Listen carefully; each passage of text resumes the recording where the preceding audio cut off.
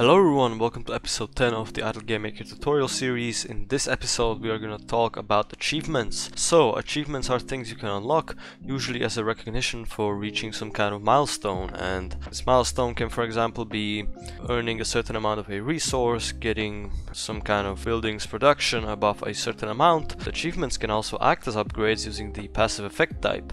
And achievements use the requirement property to unlock along with most other things. So we're going to talk about the requirement property in just a second. And of course they are declared in the achievement section and by default they are found in the info tab in your game. So let's first talk about the unique properties of achievements.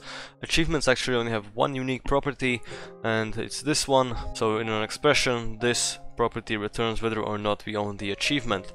Now, this property acts as a true or false value in an expression and you can use this to check if you own an achievement and if so, make something happen using if statements. Now a little bit more on condition flow in a future episode.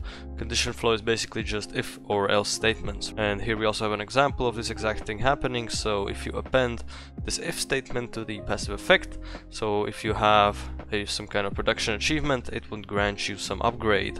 So now let's talk about the requirement property. Now, the requirement property is not unique to achievements and it can actually be used by resources, buttons, buildings or upgrades as well. And uh, it is very important because you don't want all your things unlocked at the beginning of the game, right? Because that's no fun. So if the thing is an achievement, it will be earned if the specified requirements are fulfilled. And if you want, you can pause and read a little bit more about it.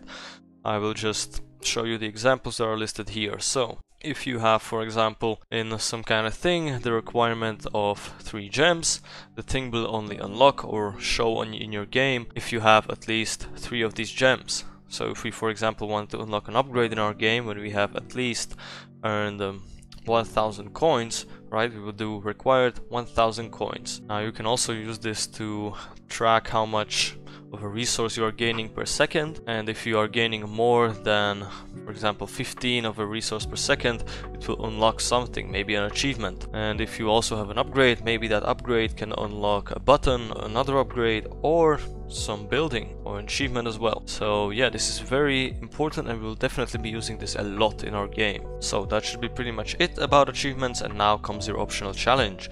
So your tasks for this challenge are to add an achievement to the game, give it a name and a description telling the player about its requirements and have it unlock once you get at least 100 coins. So pause the video, give it a try, let me know how it went in the comments and if you are stuck I have two hints prepared for you that should hopefully help you. So if you are stuck, here's the first hint. Make sure to use the requirement property, of course. And if you are still stuck, here's the second hint. Make sure to declare the new achievement in the achievement section. Right, hopefully you gave that a go. Now let's move on to actually coding this and I will show you the solution on how to do this right now. So I'm in Pastebin right now and we need to add an achievement. So let's begin by adding the achievement section. Let's make a new thingy, call it coin collector give it a name of coin collector since that's gonna be the name of this achievement. Give it a description of you earned 100 coins. Welcome to the club of coin collectors. And now comes the requirement property. So for this in order to unlock this achievement we need to have 100 coins earned so you just do 100 coins and if you did this exact thing that's okay. I kind of set you up for failure because you had no idea of knowing that you can do anything else than this. But in our case we actually need to add the earned selector because if you only typed in 100 coins it would only unlock if you have 100 coins in your bank. We want it to unlock once we have earned an all-time of 100 coins. So 100 coins earned and that should be it. So let's now go to our game hit refresh. And we already earned it because we have some progress on the save file already. Let's wipe our progress and get to 100 coins. Okay so I am almost at 100 coins. Let's just click the button four more times.